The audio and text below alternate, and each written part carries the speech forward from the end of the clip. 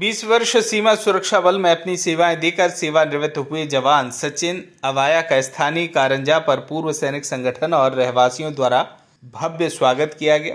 दरअसल देशवासी जब निश्चिंत होकर सोते हैं, सीमा पर देश के सैनिक जाग कर देश की सुरक्षा करते हैं। बीएसएफ में 20 वर्ष अपनी सेवाएँ देकर सेवानिवृत्त हुए जवान सचिन अवाया का भव्य स्वागत नगर में जगह जगह किया गया। इस अवसर पर बीएसएफ के जवान सचिन अवाया ने बताया उन्होंने अपनी नौकरी के दौरान अलग अलग राज्यों में देश के लिए अपनी सेवाएँ दी और देश की सेवा के लिए फौज में युवाओं ने बढ़ चढ़ कर हिस्सा लेना चाहिए। इस दौरान पूर्व सैनिक संगठन के जिलाध्यक्ष नीरज माहुले एवं पूर्व सैनिक उपस्थित रहे। नमस्कार मेरा नाम पूर्व नीरज कुमार माहुले पश्चिम निमार पूर्व सैनिक संगठन जिला बड़वानी अध्यक्ष।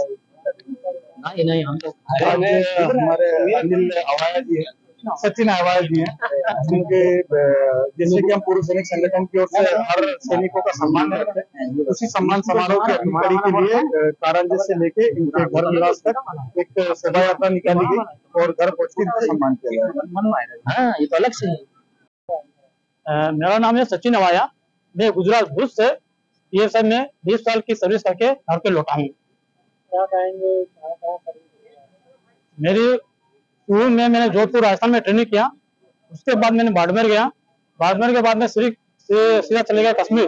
कश्मीर में मैंने अमरनाथ यात्रा कराया। उसके बाद मैंने नॉर्थ ईस्ट मिजोरम। उसके बाद बंगाल, कलकत्ता। उसके बाद मैंने गुजरात और दिल्ली और सभी स्टेट में मैं नौकरी करके आया बीएसएफ में। बहुत बढ़िया रहा सर। बीएसएफ में जाना चाहिए और ऐसा स्वागत समारोह सबका होना चाहिए। ना कि हमारा ही, सबका होना चाहिए सर।